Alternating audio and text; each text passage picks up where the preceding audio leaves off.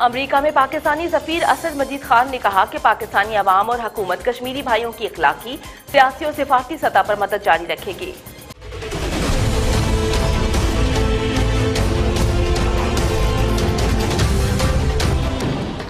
New York consulate के ज़रिए तमाम योम इस्तेसाल कश्मीर के हवाले से सेमिनार का इनका किया गया, जिसे अमरीका में तैनात पाकिस्तानी सफीर डॉक्टर असद मजीद, सबक high commissioner Salman Bashir, consul general Ayesha Ali समेत कई मुकर्रीन ने खिताब किया है। सफीर पाकिस्तान डॉक्टर असद मजीद खान ने कहा की पाकिस्तानी अवाम और हुकूमत अपने कश्मीरी भाइयों की इखलाकी, सियासी और सिफारती सतह पर मदद पूरे जोरों शोर ऐसी जारी रखेगी।